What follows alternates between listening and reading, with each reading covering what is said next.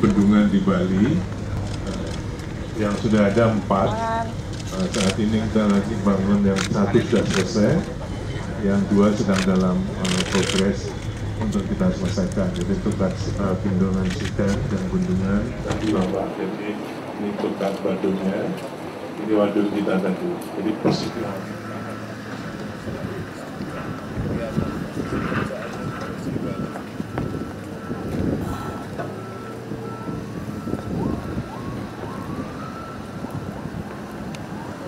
Ya ini eh, ini Waduk Muara, Waduk Muara ini luasnya luasnya 35 hektar.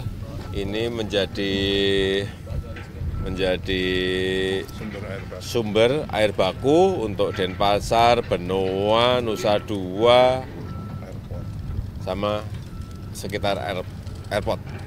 Ini sangat penting sekali, tapi ini belum selesai, baru 80 persen, akan diselesaikan nanti Desember akhir tahun ini, Desember. Ya, dan saya saya melihat ya dari si pengerjaan ya kelihatan rapi. Iya nanti kanan kiri ini akan tadi gambarnya mana tadi kanan kiri nanti ya akan ada apa kayak ya resto cafe gitu. Ini gambarnya ada tadi. Iya dong kalau bisa fungsinya tidak hanya air baku bisa untuk wisata bisa untuk resto ya bagus.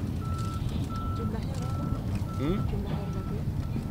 Air bakunya berapa? 500 liter per detik. 500 liter per detik. besar. Gede, gede.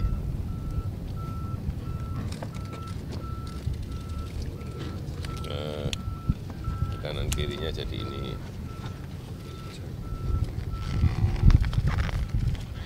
Ya, ini ada apa nih untuk Restoran.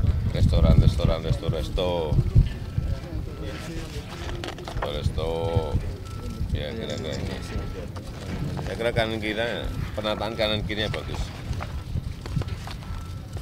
Jadi tidak hanya fungsi air baku, tapi juga untuk resto, untuk tempat wisata. Kalau Termasuk sore ini. kan banyak sekali orang mancing. Nah, ini untuk kafe. Ya bagus, saya melihat.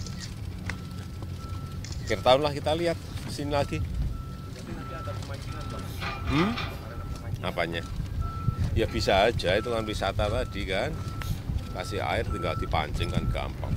Pak Presiden setelah waduk, shortcut, apalagi Pak jatah untuk Bali ini setelah 90 Apanya? Untuk Bali Tadi pasar, Sukawati, apalagi apalagi bandara Pak. pusat kebudayaan Bali, apalagi Kereta api Pak. Belum, masih dalam studi. dalam studi Mungkin airport yang Bali bagian utara segera diputuskan, studinya selesai, kajiannya rampung, putusin. Hmm? Belum, kelihatannya belum. Belum. Kemarin Nusa Penida yang diminta oleh Pak Bupati Pelabuhan, dermaga Pak. dermaga, dermaga. Pak Presiden, sedikit soal eh, TGPF itu Pak. Apa? Pak? Apa toh? Tim TGP apa, pencari fakta kerusuhan 22 Mei. berikan waktu terlebih dahulu pada polisi untuk menyelesaikan yang kasus pembunuhannya. Kemudian ini juga sudah berjalan paralel juga nanti kasus yang berkaitan dengan eh, apa meninggalnya yang kerusuh yang ada di lokasi-lokasi kerusuhan. Saya kira dua-duanya berjalan paralel. Dan tidak hanya kepolisian nanti bisa mengajak Komnas HAM dan yang lainnya. Ya. Ya,